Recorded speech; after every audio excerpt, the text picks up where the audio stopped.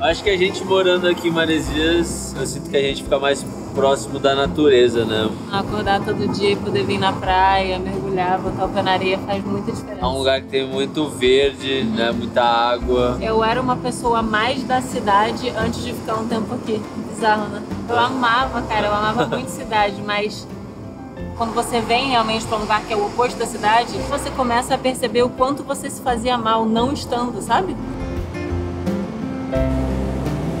E o que, que era a praia para você antes da gente se conhecer? Era bem diferente do que é hoje, sabia? É, imagino. pra mim, praia era sol. Pegar Sim. sol, pegar sol, sol, sol, dar um mergulho no mar. Agora eu vejo. Eu aprendi a me conectar muito mais com a natureza, com o mar. Você é bizarro conectado com o mar, né? É o lugar que eu mais me sinto em casa mesmo. Uma coisa que você me falou que eu achei muito bizarro outro dia, que não importa o que está acontecendo na sua vida, quando você entra no mar, você não pensa. Eu falei, eu cara. Me desligo de tudo. Eu falei, você tem noção de que isso é meditação e que as pessoas passam a vida toda tentando fazer isso e você consegue tirar algumas horas do seu dia e não pensar?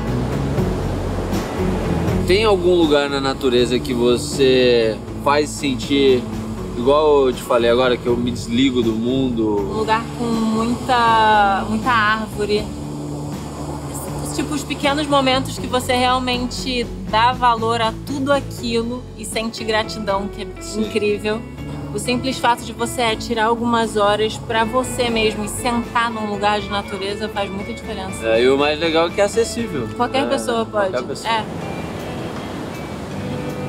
Você lembra do seu primeiro contato com o sushi? Quando eu te levei a primeira vez?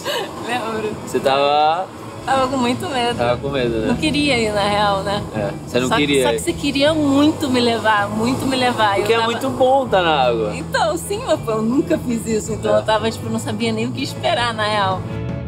Tubarão, baleia, tartaruga, golfinho, vai aparecer um negócio, eu vou cair. E você resolveu acreditar. É, eu resolvi e, acreditar, e dar uma chance pro desconhecido. tava com muito medo, mas eu pensava, cara, é o Gabriel Medina. A gente tava se conhecendo nesse é. melhor surfista do mundo. Se não for com ele, não vai ser com ninguém. Confia, vai.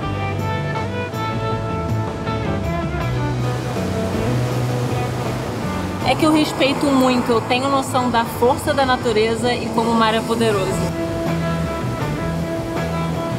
O mar realmente tem que ter o respeito, tem que esperar o momento de entrar no mar, né, de tomar uma série na cabeça ou de esperar a onda, então ele vai te ensinando, pô, tem que ter paciência, tem que ter respeito. É, o mar é como se fosse um animal selvagem que você tá domando de uma certa forma na onda, né?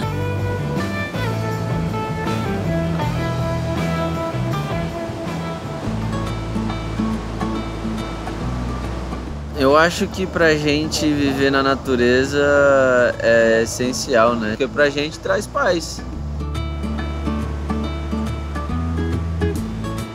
De viver num ambiente assim e ter alguém para compartilhar esses momentos comigo. Né? Sinto que você me ensinou a amar mais as coisas, sabe? Ultimamente eu tenho vivido um lado mais ser humano que na verdade eu tô conhecendo agora. E é mais legal. Legal de ter do meu lado. Só foi acontecendo, né? Tipo, tudo foi se desenrolando em geral para que tudo isso acontecesse. É que é muito inexplicável. Minha onda perfeita é o que faz sentido para mim, né? Eu estar tá com alguém que, que eu amo de verdade, tá nessa leveza, fazendo o que eu amo, né? Que é tá surfando, tá no mar.